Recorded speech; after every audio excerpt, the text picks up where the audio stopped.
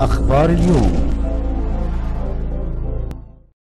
شهد الفريق أول صدقي صبحي القائد العام للقوات المسلحة وزير الدفاع والإنتاج الحربي والمهندس خالد عبد العزيز وزير الشباب والرياضة مراسم الاحتفال بتكريم أبطال القوات المسلحة الحاصلين على الميداليات والمراكز المتقدمة خلال بطولة العالم العسكرية السادسة التي أجريت مؤخرا بكوريا الجنوبية. بدأت مراسم الاحتفال بكلمة للواء دكتور مجدي اللوزي رئيس جهاز الرياضة للقوات المسلحة. أكد خلالها على أن ما حققه لاعبو ولاعبات أندية المؤسسة العسكرية من إنجازات محلية وقارية ودولية.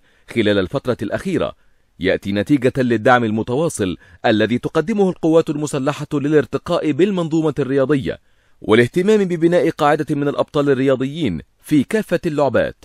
وقام القائد العام بتكريم الأبطال الرياضيين والأجهزة الفنية والإدارية التابعة للجهاز والحاصلين على العديد من الميداليات والمراكز المتقدمة في مختلف البطولات. ونقل القائد العام رسالة تقدير من الرئيس عبد الفتاح السيسي رئيس الجمهورية القائد الأعلى للقوات المسلحة واعتزازه بأبناء هذا الجيل من العسكريين وما حققوه من إنجازات رياضية محلية وعالمية. ورفع راية مصر عالية خفاقة بين الأمم والشعوب.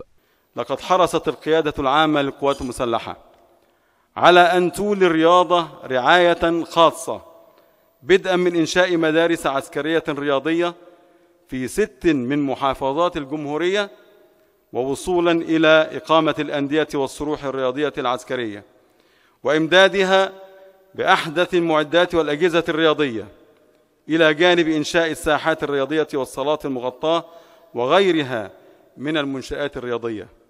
تأكيدا على أن القوات المسلحة ستظل دائما طليعة هذا الوطن وأكثر مؤسساتها انضباطا واهتماما بالرياضة. حضر الاحتفال الفريق محمود حجازي رئيس أركان حرب القوات المسلحة وقادة الأفرع الرئيسية وعدد من كبار قادة القوات المسلحة وعدد من رؤساء الاتحادات الرياضية واللجنة الأولمبية والنقاد الرياضيين ونجوم الرياضة.